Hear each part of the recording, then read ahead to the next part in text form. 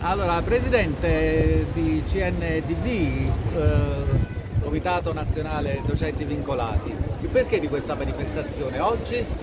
La manifestazione oggi, 15 ottobre, è, è stata organizzata per rivendicare quelli che erano i nostri diritti, diritti che ci sono stati poi negati con una legge retroattiva eh, successiva quindi ai nostri bandi concorsuali e al nostro inserimento nelle graduatorie ad esaurimento.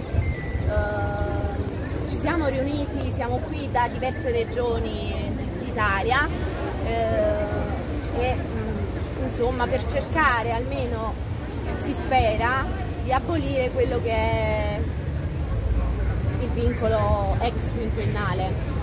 E sappiamo che avete avuto un incontro al Ministero adesso. Assolutamente sì, ci ha ricevuto la vice capo di gabinetto Sabrina Capasso, la quale ci ha ribadito con estrema forza la sua disponibilità, la loro disponibilità anche eh, sembra quella del, dello stesso Ministro Bianchi, ci ha eh, detto di riferire che c'è un'apertura per quanto riguarda quella che è la mobilità annuale.